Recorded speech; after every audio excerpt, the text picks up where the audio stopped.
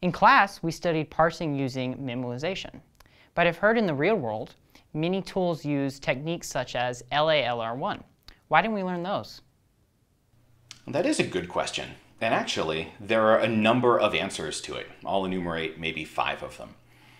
One of the first is that this memoization or chart parsing technique that we learned is actually very similar to, almost isomorphic to, some of the more advanced techniques used in practice. You can read up on, or you may have heard of, GLR, generalized LR parsing. That's commonly used in tools such as OINK, the real name for a software project, go check it out, which can be used to parse complicated languages like C++. It turns out that C++'s grammar doesn't really easily fit into these restrictive little cubby holes that some of the faster tools prefer. It can really be a contortion that distorts meaning to try to get C++ to fit into one of these other tools. By teaching you a very general technique early on that can handle any context-free grammar, you know how parsing works even in these obscure corner cases, and I'm teaching you the approach that's used in the more advanced tools. Another reason related to this is that all of these tools have the same interface. If you want to go try Oink out later on, it accepts the same sort of context-free grammar format that we're used to. So does Yacc, so does Bison, so does OCaml Yacc, so does Java Cup, so does Racc, RubyYacc. I've taught you the way to phrase it, and then the particular tool under the hood can use whatever parsing algorithm it prefers. In the same way that we write regular expressions, A, B plus, and then depending on whether we're writing a Perl program or a Python program or some other program, uh, it might convert that regular expression to a finite state machine slightly differently, but we know what the final output is going to be. We know what strings are going to be matched.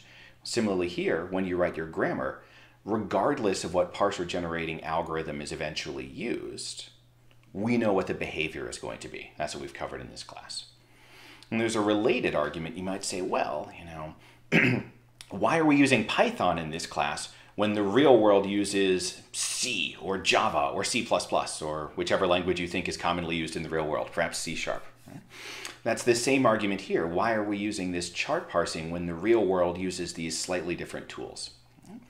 And this is a big question in education and pedagogy. I honestly believe, as a practitioner and a researcher, that there's a key difference between knowing how to program and knowing how to program in a particular language. And the former is much more important. If you know how to program in Java, if you've survived this class, you can pick up another language like Ruby, Java, Python, do the same thing. knowing how to program, thinking about recursion, thinking about laying, uh, laying out data, thinking about algorithms, that's much more important than knowing the particular syntax for any language. Similarly here, I believe that really understanding context-free grammars and parsing is more important than knowing which particular parser generator tool implementation is being used under the hood. You know one particular algorithm for creating parsers, and that may as well be the one that's used in practice.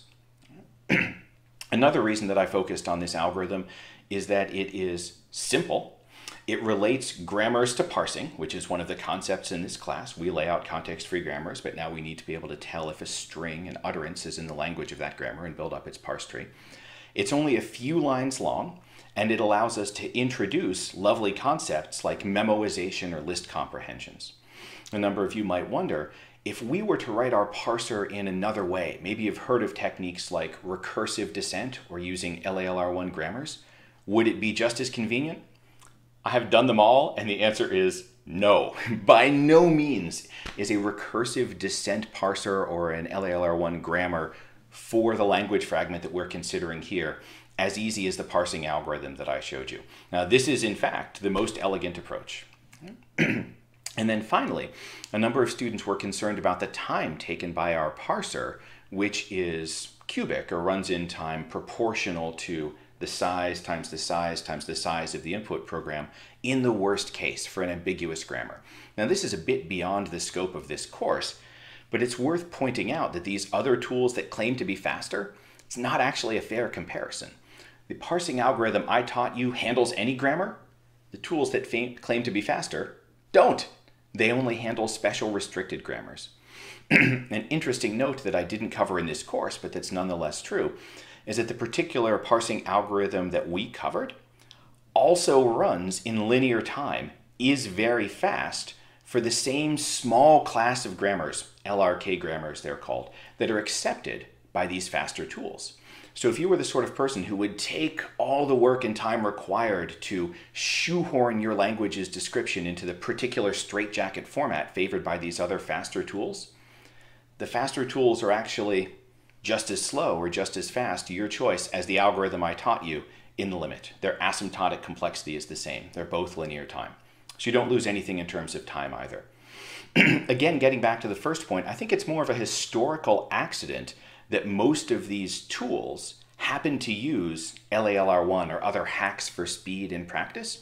And in the last few years, last 10 years, say, research has focused increasingly on GLR parsing or the sort of chart parsing that I've shown you as a way of allowing people to write, people to write the grammars that they want, get linear time, super fast performance most of the time, pay a little bit when things are ambiguous, and then get on with their lives. And I foresee uh, that languages like C++ or Java or whatnot, more complicated languages, will be analyzed using tools like that in the future. so it's my honest belief as an educator uh, that I'm teaching you the right approach, teaching you something like LALR1. that information is really not necessary in the modern world, and it's long. Oh, those lectures feel like they go on forever. Uh, by contrast, this chart-based approach is elegant, simple, allows us to introduce fun concepts, handles all grammars, which the other approaches do not, um, fits in just a few slides, and is just as fast in the limit. What's not to like?